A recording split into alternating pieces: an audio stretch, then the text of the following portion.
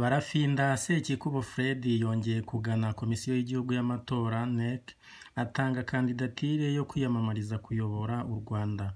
Kuri uyu wa makumyabiri n'icyenda gicurasi ni bwo barafinda sekikubo fred w'imyaka mirongo itanu n'ine yongeye kujya kuri komisiyo y'igihugu y'amatora gutanga kandidatire ye yo kwiyamamariza kuyobora u rwanda.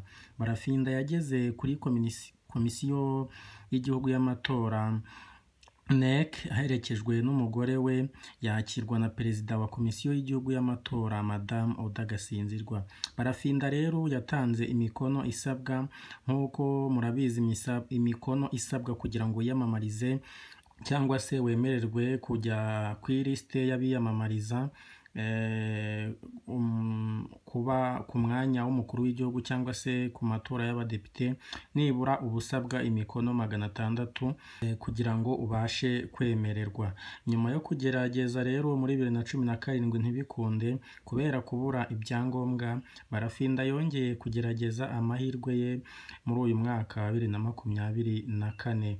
Ubwo yatangaga kandidatire muri bibiri na cumi na karindwi barafinda yavuze ko atagiye muri politike ku bw'impanuka ngo politike ari urutirigongo rwe itogota ihora imutogotera mu rutirigongo rwe ngo yatekereje kwiyamamaza ku bw'imisemburo imurimo imugize. Icyo gihe yavuze ko imigabo n'imigambi ye ari ugukuraho imisoro ku butaka gakondo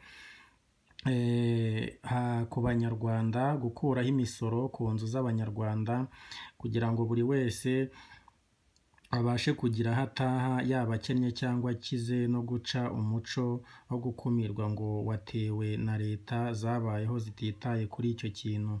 Ibyo ngo yari kubigeraho mu gufata abana b'urubyiruko cyangwa se b'abahungu n'abakobwa b'imyaka runaka akabahuriza hamwe hanyuma bakishimana hanyuma bagahita babana. Barafinda rero yagiye atungura abantu benshi aho yata ibyangombwa byose bamubajije yabitanze ntiyaburamo na kimwe. Bitandukanye no mu mwaka wa bibiri na cumi na karindwi aho yangiwe kubera hari ibyangombwa atari yujuje. Yatunguye abantu benshi rero kuko yaje mu isura nshya asa agaragara nk'umuntu uri seriye kandi yabyitwayemo neza. Akimara gutanga kandidatire rero itangazamakuru ritandukanye ryagiye rimuhururira rimuhata ibibazo abasubiza neza cyane ababwira ko yiteguye gutsinda amatora kandi ko yifitiye icyizere. Barafinda rero yavuze ko kwigirira icyizere ari byo bintu bya mbere bifasha kugira ngo umuntu ibyo yifuza bigerweho. Uyu barafinda rero abenshi bari bamuzi nk'umuntu w'umukomediye bari bamuzi nk'umuntu usetsa uri aho ariko ibyo yakoze ntabwo ari buri wese wabikora. Tuvugishije ukuri rwose uyu mugabo ikigaragara cyo ni uko yigirira icyizere mu rwego ruhanitse kandi yifuza ko igihugu cye hari aho kiva hari n'aho kigera. Mu bibazo rero yagiye abazwa n'abanyamakuru bamubajije icyo ashobora gukora aramutse agiriwe icyizere cyo kujya ku butegetsi. Yavuze ko yashyira perezidanse enye nibura mu gihugu hose muri buri ntara agashyiramo perezidanse ni igitekerezo gikomeye cyane abantu bagiye bagarukaho bavuga bati nyamara uyu mugabo ibyo avuga ni ukuri kandi bishobora gufasha.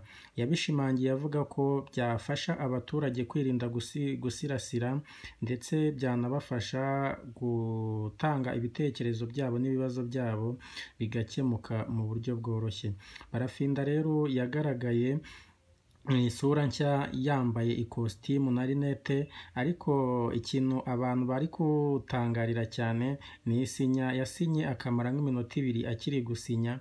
Abantu bakomeje kubyibazaho ndetse birabatangaza. Uyu mugabo rero agaragaza ko yifitiye icyizere kandi ashoboye. Abamwitiranyaga nk'umuntu w'umukomediye rero ndizera ko ibyo ari gukora byatunguye abantu benshi kuko biriya byangombwa kugira ngo ubibone. Ntabwo ari ibintu byoroshye ntabwo ari ibintu bya buri wese ku buryo ushobora bashobora kukubwira ngo ubishake ngo upfe kubibona. Barafinda rero yavuze ko ari we wabyishakiye. Uyu mugabo mu byange mwabyemera ariseriye rwose ubwo twizere neza yuko mu bizava mu matora nawe afite icyizere cy'uko nawe bizagenda neza. Uyu barafinda rero yaje aherekejwe n'umudamu we mwiza cyane abantu benshi ntibari bamuzi ariko icyagaragaye cyo ni uko afite umudamu mwiza.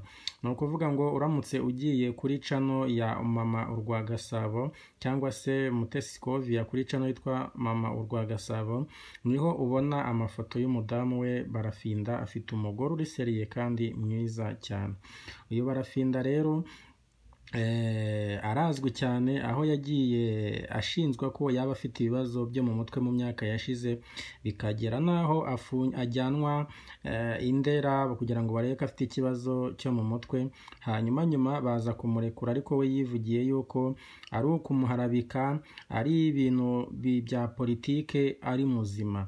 Ariko icyagaragaye muri uyu mwaka ni uko barafinda mu by'ukuri ni muzima. Ntabwo biriya bintu wabikora ufite ikibazo ntabwo bishoboka rwose. Rero umudamu ushinzwe kwakira kandidatire z'abahatanira ku mwanya w'umukuru w'igihugu n'abadepite madamu oda gasinzirwa yamwakiriye neza cyane amwakirana urugwiro mu buryo bwubashywe aho byagiye bigarukwaho ko uyu mama ari umumama wamwakiriye neza kandi mu buryo bugaragara.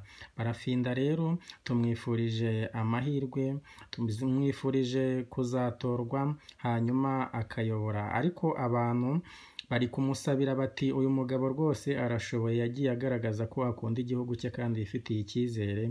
Biri kuvugwa yuko bamushakira umwanya w'akazi n'iyo atatsinda amatora bakamushakira nk'ahantu ayobora runaka kugira ngo umuryango we ushobore kuba wabaho cyangwa se wabona ikiwutunga. Nibyo bikomeza kugenda bigarukaho rero aho abantu benshi bari kumushima aho yatunguranye cyane yazanye udushya twinshi muri uyu mwaka.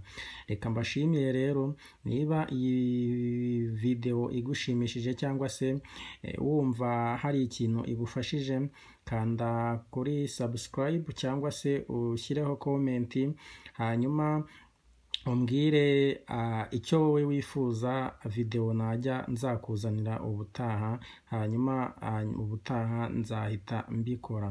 Wakoze cyane wowe wakurikiye iyi videwo imana iguha umugisha nizere ko mumeze neza kandi imana ikomeze ibarinde.